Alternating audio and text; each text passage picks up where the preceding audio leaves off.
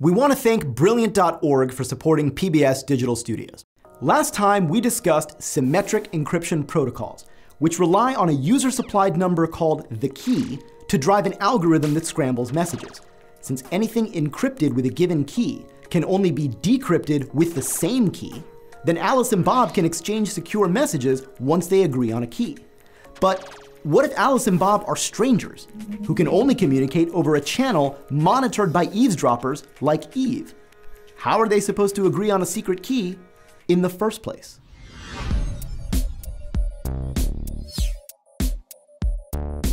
Symmetric key protocols like AES, the Advanced Encryption Standard, are simple, fast, and for all practical purposes unbreakable. But unless they can time travel, Alice and Bob can't use a symmetric key to share that key in the first place. This chicken and the egg problem is the Achilles heel I alluded to last episode. Yes, Alice and Bob could share a key in person or through a courier, but typically, offline exchanges like this are impractical or impossible. Now, since in practice, AES directly encrypts almost everything, there's clearly gotta be a way for Alice and Bob to get over the key sharing hump.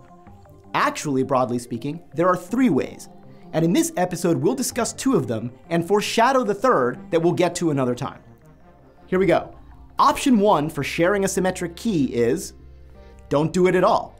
Instead, use asymmetric key cryptography, also known as public key cryptography, for reasons that will be clear in a moment. The idea here is to use two keys, with the property that anything encrypted with one of them can only be decrypted by the other. Now to work as I just described, these keys will have to be related somehow, and we'll come back to how they're generated shortly. But for now, let's just assume these key pairs exist and outline the steps used to communicate securely with them. Here are the steps. Alice generates two keys. She disseminates one publicly and keeps the other private, never sharing it with anyone, not even Bob. Bob follows suit. Now to send Bob a message, Alice encrypts it with Bob's public key. Why? Because only Bob knows the counterpart key. That's his private key, so only he can decrypt that message. And of course, Bob could message Alice using her public key. Note that Alice can also use this system to authenticate herself to Bob. How? Well, first, she encrypts a message with her own private key, and then encrypts that result with Bob's public key. When Bob decrypts the outer layer, he still sees an encrypted inner layer. If he can decrypt that with Alice's public key, then he knows the message was encoded with Alice's private key, meaning she in fact sent it. Okay, now extrapolate. If everyone generates a key pair and publishes half of the pair, then anyone can in principle communicate securely with anyone else, even if the conversing parties have never previously spoken or even met. Now the nitty gritty. How do we actually generate a pair of keys that function like this? Because the fact that the keys have to be related seems to be a flaw in the system. I mean, if I know the protocol for creating keys, which is public, and I know Alice's public key, which is also public, then there has to be a way to reverse engineer her private key. And in fact, there is, which means that an asymmetric key scheme will only be viable if the math you use under the hood guarantees three things. First, that the keys will actually work in tandem like this. Second, that synthesizing the keys is fast and easy. And third, that reverse engineering the private key from the public one, while theoretically possible, is computationally infeasible. In short, we need something called a one-way function, some operation that's easy to do, but exceedingly difficult to undo. In the famous RSA protocol, the one-way function is plain old multiplication. I won't get into details because so much has been written about this elsewhere, but in a nutshell, RSA begins by choosing two prime numbers, at least one of which has hundreds of decimal digits. Those primes then get multiplied to form a large composite number, n.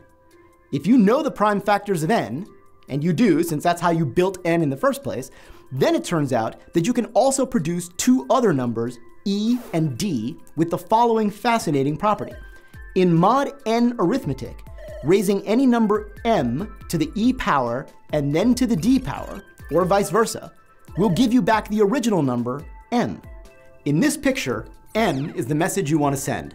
n and e are published together as a public key, and d is kept private. Now technically, the modular exponentiation that we just performed is also a one-way function. Raising something to the eth power mod n is easy, but taking an eth root mod n is really hard. The reason we don't identify that as the one-way function in RSA is because there's another attack against RSA, a so-called trapdoor. Namely, given how they're generated, D could be deduced from E if you knew the prime factors of n. And this is why we identify multiplication, which can only be undone with super slow factoring, as the relevant one-way function in RSA. And because factoring is so much slower than multiplication, the private key is de facto safe, despite having n out in the open. Now here's the dirty little secret of crypto. Modern factoring algorithms have actually gotten pretty good. RSA can stay ahead of these algorithms, but it does so by using even bigger n values, i.e. longer keys. And this comes at a cost. Already, asymmetric encryption schemes are thousands of times slower than symmetric ones, and they use way more computational resources. If, on top of that, you keep generating ever more gigantic keys, then this overhead can become a problem, especially on mobile devices where the processors are weak and power is scarce. Now, I just said that all asymmetric schemes are slow, even without extra huge keys. For this reason, most real-world encryption relies on a hybrid scheme. And this is option two for Alice and Bob. They will encrypt stuff quickly and inexpensively via a symmetric protocol like AES. But they'll use an asymmetric scheme up front just to transmit the shared symmetric key as a message that Eve can't read. Note that this is why cracking RSA would compromise symmetric encryption, even though symmetric encryption has nothing to do with factoring large numbers. It's because the main thing you encode with RSA is symmetric keys. Now for extra safety, most modern web security protocols don't allow reuse of either the symmetric or the asymmetric keys. You generate a public-private key pair for just your current session, and you use that pair to share a symmetric key that you also throw away after that session. Nevertheless, if you encrypt upfront with RSA and RSA gets cracked, everything will fall apart. And this vulnerability, along with the increasing bloatedness of RSA keys, raises two interesting questions. One, if we are going to use asymmetric encryption, are there any other one-way functions we could base it on for which the undo algorithms are slower than the ones for factoring? Because if there were, we could get away with smaller keys. And second, does the option 3 that I referenced at the top of the episode actually exist?